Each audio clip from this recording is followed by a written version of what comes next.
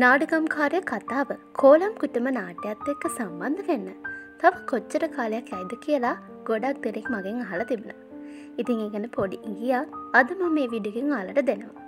ඒ නිසා වීඩිය එක චුට්ටක්කත් මගහැරගනි නැතුව දිගට මහගෙන ඉන්න.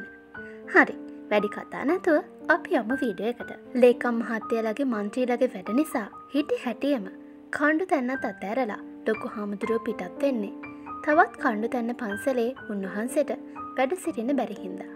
ඉතින් මෙහෙම කාටවත් හරියට ඉන්න තැනක් නොකියම ලොකු හාමුදුරෝ යන්නේ මාස්ටර්ලට එක පොරොන්දුවක් දීලා. ඒ තමයි මං පන්සලෙන් ගියට ගමේ මිනිස්සුම් බලල යන්න මං ආයෙත් කණ්ඩු තැනට එනවා කියලා.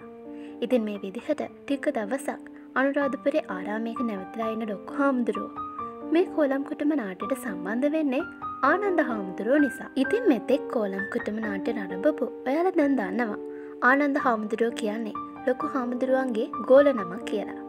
ඉති ලොකු හාමුදුරුවන්ට වගේ මිනිස්සු ගැන ලොකු කැක්කුමක් මේ ආනන්ද හාමුදුරුවන්ට නන්නෑ.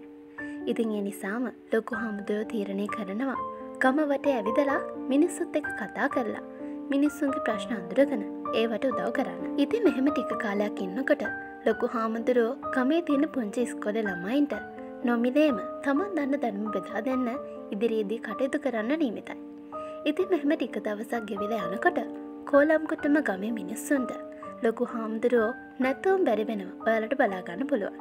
ඉතින් මේ අතර තමයි නොහිතපු වෙලාවක කවඩියයි ගීතිකයි කෝලම්කුටම නාට්‍යයේ අම්බලංගඩ ගමට ගීතිකාගේ නෑදෑගෙදරකට එන්නේ. ඉති මේ අතරවාරය තමයි අහම්මෙන් වගේ ලොකු හාමුදුරුවන්ග කවඩියට මුණගැහෙන්නේ. ඉතින් එතනින් පස්සෙ තමයි මේ කෝලම්කුටම සහ නාඩගම්කාරය කතාව එකට සම්බන්ධ වෙන්න කියලා දැනටාල මතක තියාගන්න. ඉතින් එතනින් පස්සෙ තමයි හොඳ හොඳ සෙල්ලම් ටිකක් සිද්ධ වෙන නීමිතව තියෙන්නේ.